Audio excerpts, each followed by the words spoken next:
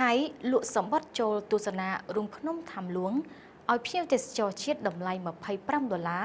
និងភ្ញៀវទេសចរបរទេសតម្លៃ43ដុល្លារដោយមិនរាប់បញ្ចូលការធានារ៉ាប់រងអាយុជីវិត។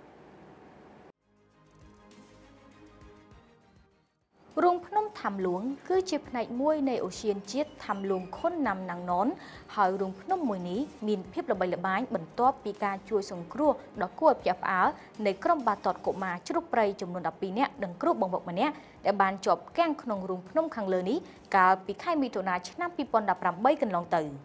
ការចុះឈ្មោះសម្រាប់ការធ្វើដំណើរចូលទៅទស្សនាក្នុងរូងភ្នំថាំលួងត្រូវបានបើកនៅថ្ងៃទី15ខែធ្នូឆ្នាំ2023តទៅចំណែកការចូលទស្សនាត្រូវបានរៀបចំឡើងពីរដង គឺពេលព្រឹកនិងពេលរសៀលគឺនៅថ្ងៃអង្គារថ្ងៃពុធនិងថ្ងៃប្រហ័ស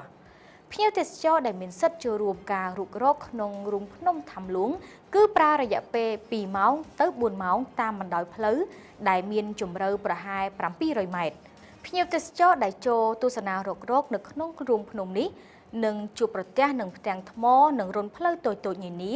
ដែលសុទ្ធសឹងតែជាកន្លែងដែលបណ្ដាលឲ្យមានការលំបាកក្នុងការជួយសង្គ្រោះមនុស្សសរុប13នាក់កាលពីអំឡុងឆ្នាំ2018នោះដំណើរកំសាន្តទស្សនាតាមរូងភ្នំថាំលួងគឺមានតម្លៃ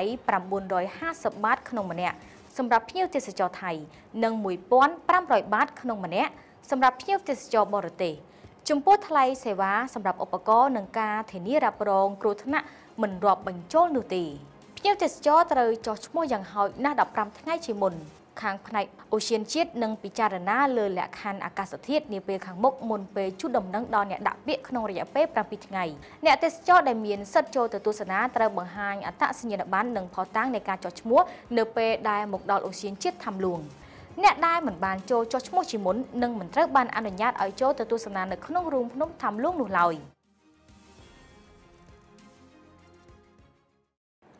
នេះខ្ញុំហៃសោភាពី Swift New និង Best TV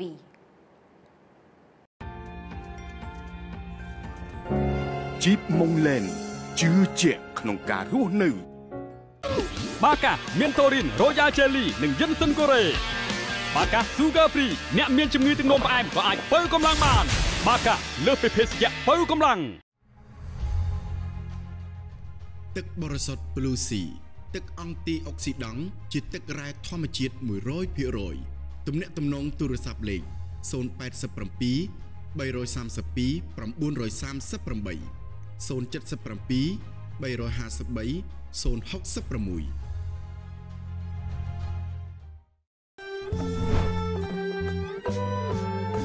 Swift New Best TV ព័ត៌មានក្នុងដៃអ្នកបន្ទាប់ពីរដ្ឋាភិបាលបានសម្រេចផ្អាកបំណុលកសិករថៃឥឡូវនេះប្រជាជនថៃមានរឿងជោគជ័យមួយរឿងទៀតដោយរដ្ឋាភិបាលបានសម្រេចផ្អាកបំណុលសម្រាប់អាជីវកម្មខ្នាតតូចនិងកូនបំណុលមានត្រឹមតែ1000ដុល្លារអាចក្លាយជាម្ចាស់ខុនដូកណ្ដាលក្រុងអរិចសានភ្លាមភ្លាម និងបង់ប្រចាំខែត្រឹមតែ300ដុល្លារក្នុងមួយខែសម្រាប់ព័ត៌មានបន្ថែមសូមទំនាក់ទំនងមកកាន់ផ្នែកលក់ឥឡូវនេះនាយករដ្ឋមន្ត្រីថៃបាននិយាយថាគណៈរដ្ឋមន្ត្រីរបស់ប្រទេសនេះបានអនុម័តលើការផ្អាកបំណុលសម្រាប់អាជីវកម្មខ្នាតតូច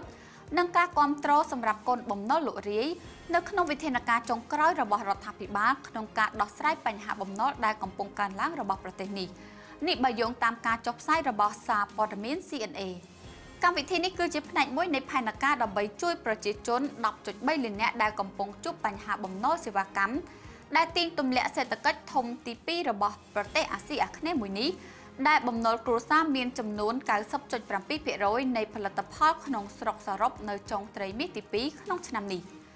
នាយករដ្ឋមន្ត្រីលោកស្រីថាថាវីសិនបានប្រាប់អ្នកយកព័ត៌មានថារដ្ឋាភិបាលក៏នឹងព្យាយាមរក្សាតម្លៃប្រេងម៉ាស៊ូតនៅប្រហែល30បាតដែលស្មើនឹង0.86សេនក្នុង1លីត្រនិងថ្លៃអគ្គិសនីរហូតដល់4.2បាតនៅក្នុងមួយឯកតាដើម្បីជួយបន្ថយថ្លៃដើមធម្មពល រដ្ឋមន្ត្រីធម្មពលលោកភីរ៉ាផាន់ស៊ីឡារដ្ឋាវីហាកាបាននិយាយថាតម្លៃប្រេងម៉ាស៊ូតនឹងត្រូវបានកំណត់រយៈពេល3ខែហើយត្រូវបានគ្រប់គ្រងដោយវិធានការពន្ធនិងមូលនិធិប្រេងជាតិលោកបានបន្ថែមថាច្បាប់អគ្គិសនីថ្មីនឹងត្រូវសម្រេចក្នុងខែមករាប៉ុន្តែក្រុមដែលងាយរងគ្រោះនឹងត្រូវបានផ្ដល់ជូនអត្រាបច្ចុប្បន្ន3.99បាតក្នុងមួយឯកតាការឧបត្ថម្ភធនរបស់រដ្ឋាភិបាលបានជួយរក្សាអតិផរណានៅកម្រិតទាប ដោយអត្រាអតិផរណាឈានមុខគេនឹងមកដល់ដក0.44%នៅក្នុងខែវិច្ឆិកា ដែលជាកម្រិតទាបបំផុតក្នុងរយៈពេល3ឆ្នាំនាងខ្ញុំសានលីម៉ាពី Swift News និង Best TV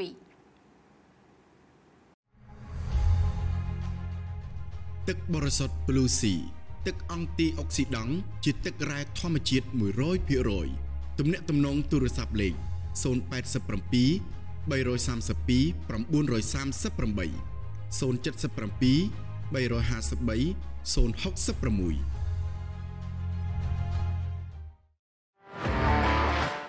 ម៉ាស់ Blue Sea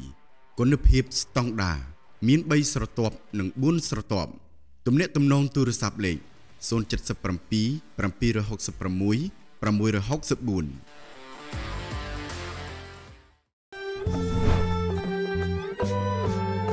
Swift News Best TV ព័ត៌មានក្នុងដៃអ្នកវៀតណាមជឿជាក់ខ្លាំងក្រោយអង្គររបស់ខ្លួនคล้ายជាអង្គរល្អផ្ដាច់គេលើពិភពលោកដោយរំពឹងថាខ្លួននឹងនាំចេញអង្គរចំនួន5000លានដុល្លារនៅឆ្នាំនេះភេសជ្ជៈបើកម្លាំងវើបង្កើនធម្មពលដល់រាងកាយភ្លាមភ្លាមបន្តធ្វើការឥតឈប់ឈរ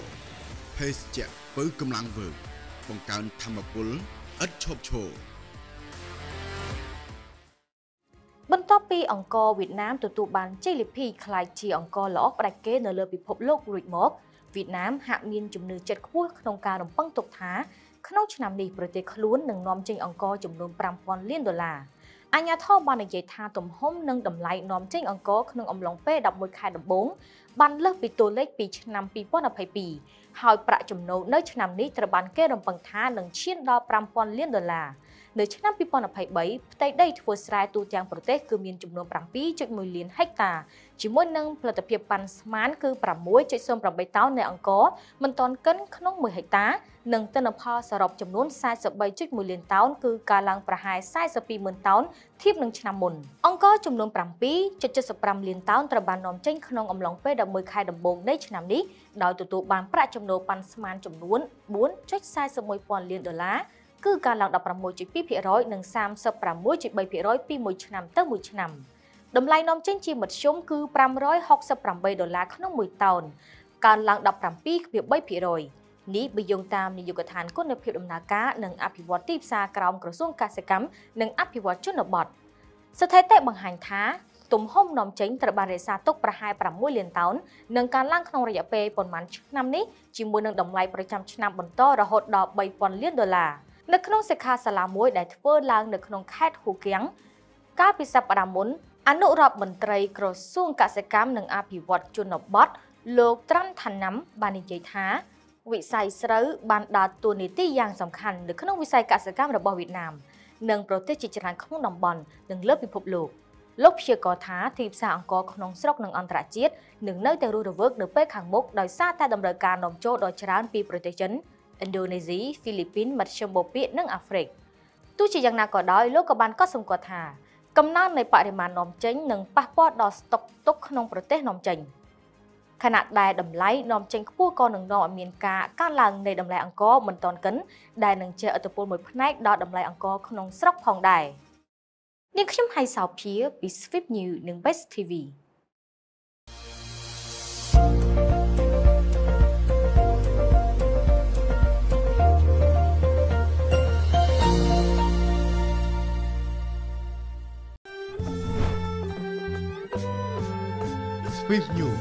Best TV ព័ត៌មានក្នុងដៃអ្នក